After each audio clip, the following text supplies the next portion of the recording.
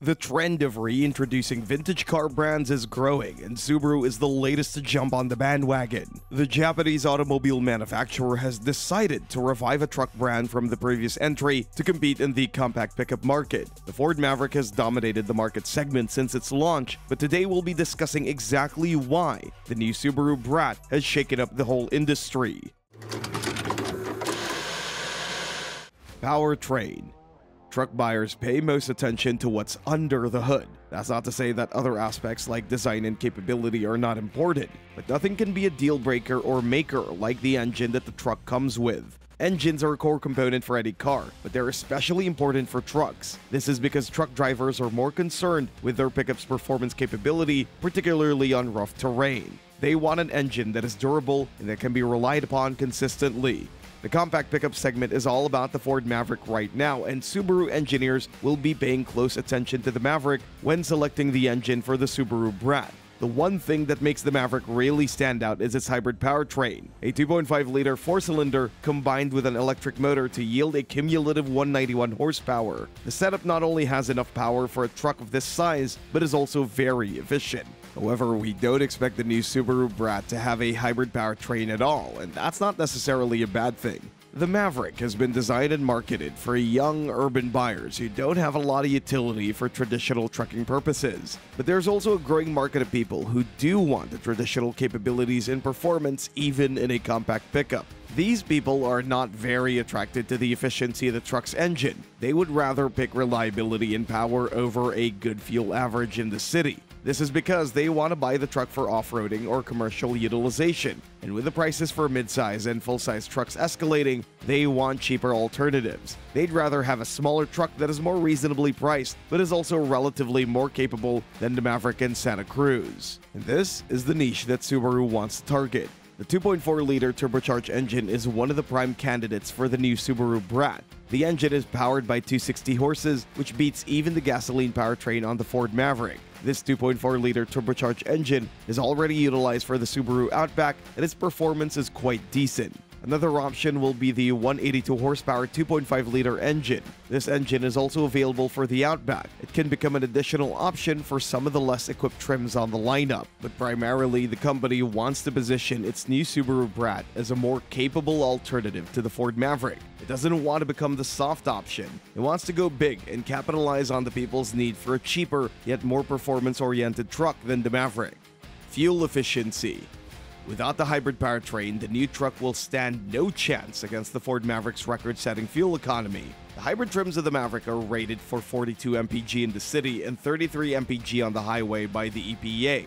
No other truck in America can rival these absolutely spectacular fuel economy numbers. But the new Subaru Brat will be fuel efficient, at least for a gasoline-based powertrain. Like we've discussed, the most likely candidates for the new truck are the 182 horsepower 2.5-liter engine and 260 horsepower 2.4-liter turbocharged engine. Both of these engines have good fuel economies. On the Subaru Outback, the 182 horsepower 2.5 liter engine can achieve 26 mpg in the city and 33 mpg on the highway. The 2.4 liter turbocharged engine is good for 23 mpg in the city and 30 mpg on the highway. Obviously, there will be a difference in performance for the new Subaru Brat, but if the company engineers can get the dimensions right, this fuel economy will be very close to what these engines achieve on the Subaru Outback. The gasoline trims of the Ford Maverick are rated for 22 mpg in the city and 29 mpg on the highway. This means that the Subaru Brat will definitely stand a chance to beat it, at least in the gas-powered Maverick variants. Towing capacity as the company is looking to differentiate from the Maverick in the way it markets itself, it'll look to build in a strong towing capability. The entire premise of Subaru's strategy is to position itself as the more capable and reliable compact pickup in the American market. The Japanese automobile manufacturer wants to relegate the Maverick to a softer alternative. This is why company engineers are spending quite a lot of time ensuring that the new truck comfortably beats the Maverick in this department. The most equipped Maverick can tow only 4,000 pounds. This has really been a disappointing sphere, especially for people who want to do more than just drive their trucks around the city. Moreover, the Ford Maverick's hybrid trims can only tow 2,000 pounds. Obviously, we'll have to wait for Subaru's official announcement, but the news coming out of the company strongly indicates a more capable truck will hit the roads than the Ford Maverick, and this is definitely going to transform the compact pickup market. The segment was considered dead by most automobile companies only a few years ago, and now it's heavily dominated by the Ford Maverick. But if Subaru Brat can come forward and challenge the Maverick's monopoly on multiple fronts, the situation can change very quickly and dramatically. Off-roading capability Subaru is not coming to the American compact pickup market without any solid strategy. In fact, it has carefully crafted a roadmap to success. It wants to build the new Subaru Brat around the concepts of strength, reliability, and durability, and most importantly, off-roading capability. The Ford Maverick is an amazing truck, but it is primarily designed for driving on paved roads and surfaces. Yes, there are specific off-roading focused trims available on the lineup, but they're nowhere near what you would call traditional off-roading trucking capability. And they're quite expensive too. The Subaru Brat will be different. It'll have natural strength and power as underlying foundations of its core focus. This means that if you're looking for an off-roading focused, cheaper alternative to mid-size and full-size trucks, you might want to wait for the Subaru Brat.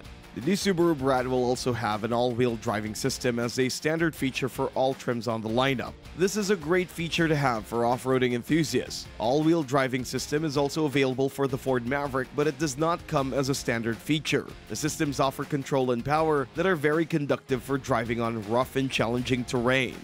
Design the original Subaru Brat was a two-door compact pickup with two passenger seats installed in the bed to avoid being classified as a truck. Yes, that's right. The passenger seats in the bed were a simple measure to avoid the protectionist tax that would otherwise have been applicable due to its import status. But times have changed, and the new Subaru Brat will primarily offer a truck with a crew cab design rather than its two-door predecessor. Of course, the company might still decide to keep the regular cab for a few trims as a throwback to its vintage truck. The rest of the truck's design will be inspired by the Subaru Outback. The primary focus of compact pickups is to provide SUV-like driving experiences on a truck. And although the new Brat wants to establish a reputation for traditional strength and capability, it doesn't want to necessarily give up the comfortable driving status. This is why the company is also looking to make the interior design more comfortable than the Maverick. The minimalistic design on the Maverick may be necessary for Ford to sustain its unit economics, but it does leave buyers wanting more. The new Subaru Brat's interior will be built with nicer plastics and will sport more features than its prospective rival in the compact pickup segment.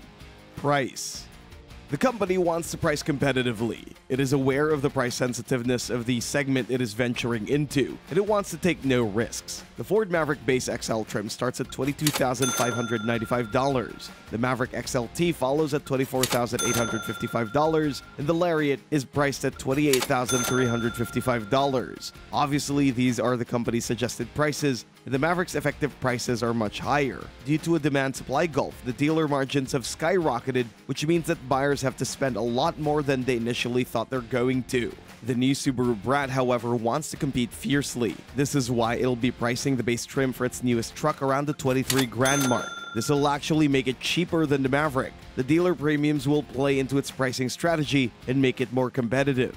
Obviously, if the Subaru Brat runs into similar supply-demand issues as the Maverick, it can be another story altogether, but right now it doesn't look like it will.